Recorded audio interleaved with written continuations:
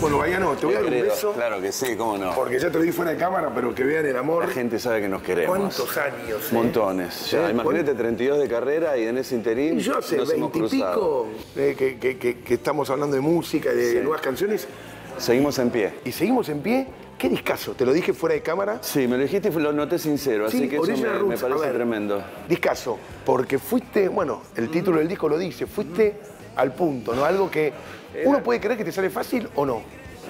No, todo tiene su trabajo, ¿eh? nada es fácil realmente, nada es fácil. Y más también con, con tantos años en, en el escenario, 32, quinto disco como solista, ¿viste? Todo también Sí, hay seguir expectativas, proponiendo y seguir hay expectativas, sabes que te van a escuchar, que te van a juzgar. Sí, no, más allá del juzgamiento es que vas a estar proponiendo cosas nuevas que siempre al haber tenido todo un historial tan, tan mayúsculo como el que tuve, es como que siempre está, viste, la, a ver, ¿y ahora qué va a proponer con, con tantos años? Pero la verdad que salió un disco súper fresco, con invitados sí, y demás. los temas son de una misma etapa compositiva, hay cosas del pasado o, o- o compusiste Hay todo. una canción que se llama No quiero verte partir, que era una letra que yo escribí para Farruko.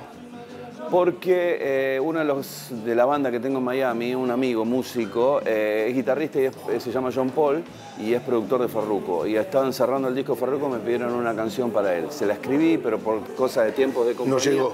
Quedó afuera y fue a este disco. Era, es la única que Cosa estaba- vieja. Cosa vieja.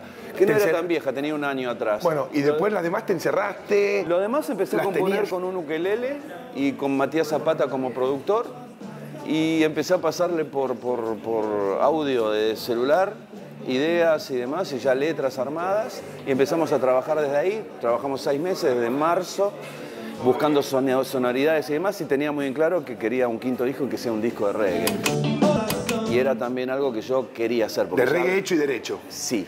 Y aparte ya había estado Sí, ya había dado vueltas. el Por eso, por eso te digo que eh, hiciste algo, entre comillas, simple y concreto y directo, y sorprendió más que si hubieses hecho un disco de los Pink Floyd, ¿entendés?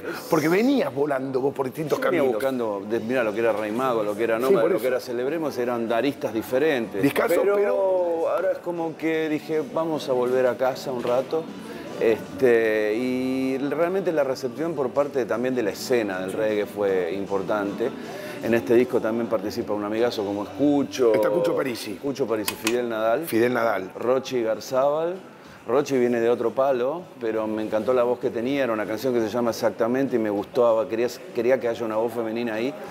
Y entre tanto escuchar, una vez Matías me manda grabado ya la voz de Rochi y digo, ¿y quién es? Es Rochi Garzábal. Yo la tenía de nombre, pero no la- no la tenía tan presente. Y me sorprendió muchísimo. Fabricio Rodríguez en armónica, en el último tema del disco que se llama Si Supiera, bueno, y la base era Gonzalo, bajista de Cafres, y el Tate, bajista, eh, baterista de... Una selección nacional de reggae. Y después fue Johnny Monty, parte, mi banda también participó, Johnny Monty participó, y bueno, la verdad que el resultado fue súper óptimo, porque del primer momento que iba escuchando cómo se iba dando todo, y con la simpleza que se iba dando, y con la particularidad que se venía dando, dije, no, este es un buen disco. A ver, y en cuanto a lo letrístico, yo siempre, hay muchas letras tuyas eh, que las denomino, el baiano eh, escribes la tristeza que se baila, porque Sí, por momentos hay cosas de nostálgicas, sí. pérdida, nostálgicas, pero al mismo tiempo, eh, eh, ¿cómo se puede? Es raro, es difícil, porque habitualmente la pérdida, eh, el desamor, se tiene que hacer con una música melancólica. Sí, yo soy un guionista más uni- universal. Yo Claro. a veces escribo también para lo que veo y para el- hay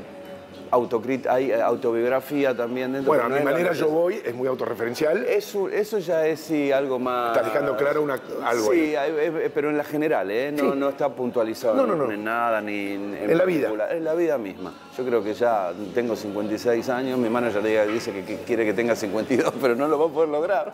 Este, pero. mm, eh, Entramos a Wikipedia y lo cambiamos, no, ¿viste? por eso, lo podemos cambiar ahí. Pero nada, hay muchas cosas que son introspec- de introspectiva. Pero con respecto a las letras, no, más, más, más allá, es un guion universal, ¿no? A cualquiera le puede llegar a pasar esto.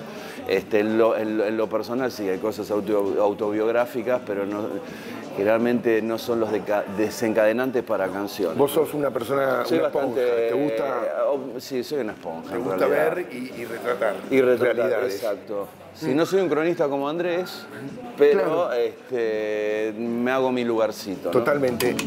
A ver, ¿cómo sentís que mm, estos temas van a ingresar a tu lista de temas en vivo? Uh, Porque va, va a haber un merengue ahí no Hay un divertido merengue, hay un para armar, ¿no? Sí, más que nada por, el, por la persona que está bajo el escenario por, o los promotores mismos, ¿viste? Que siempre tienen esa, necesidad de que vos hagas lo que la gente realmente conoce en profundidad, ¿no?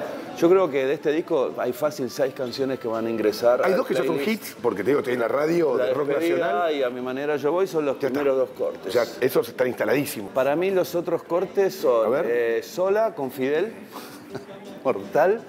Este, exactamente con Rochi, pues una muy linda canción de radio. Este, pero no, no necesariamente ¿De vivo? que pueda ir en vivo, ¿no? Porque me parece que tiene su... De hecho, Rochi me invitó a su presentación ahora en un local acá en, en Palermo, que voy a ir también a cantar esa canción con ella. Pero... Pero digo, por eh, eh, eh, ser un reggae tan directo y clásico, con Nómade, con tus discos anteriores, donde fuiste por otros géneros. Sí, yo Va a ser un show ecléctico. Sí, igual yo ahora lo que estoy tratando de hacer es aunar la sonoridad para empatar Claro, con, claro, con que todo venga para Original acá. Roots, que todo venga para acá. Todo. Y obviamente va a haber canciones que a lo mejor mm, dejaré de tocar ya, ¿no? Por más que haya gente que pida esas canciones. Tengo que hacer una ¿Estás evaluación, sí. la no- banda no a para ser salir a fácil. tocar? La ¿La banda la armada? misma, Es sí. la misma. es- es Benja López Barrio, Ram- Ramiro López Naguil en guitarra, Johnny Monti en el bajo, Tropi y Fortuna en los vientos y Matías Zapata se suma a las chapas. Me imagino que ahora en verano seguramente la, la costa. A- Arranco en enero, el, en enero. eh, el 8 en Mar del Plata. Capital y gira nacional. Marzo, abril, este, con varias sorpresas, eh, vamos a estar haciendo presentación ya en vivo y con posibilidades de grabarlo para tener un disco en vivo también. Claro, algunos clásicos viejos. Sí, ¿No? ahí también está la reminiscencia de la Big Band también para que se grabe, así que... hecho cosas, ¿eh? Has hecho entonces cosas. quiero ponerla toda en, la Toda misma, en el mismo Me paquete. parece brillante. Se te ve bárbaro, Bayano, la verdad. Gracias, digo. están comiendo sandía todos los Sí, días. bárbaro y aparte, esto también es la muestra, ¿no? Esto ayuda. La música ayuda. Más que la muestra ayuda, es verdad. La música ayuda. Ese es el motivo. La música ayuda. Y es algo que es parte de mi vida y es mi vida y re- todavía disfruto de hacer. Se te ve bien, como te decía, y la música lo demuestra. Original Roots, discaso. Más que recomendable. gracias, gracias, Entra directo y no se te va más. Muchas gracias, bebé. Nos vemos el año que viene para hablar de la gira y todo. Obvio, Te estás quiero. más que invitado. ¿eh? ¿Eh? Obvio. Vente. Ahí estaré. Nos vemos.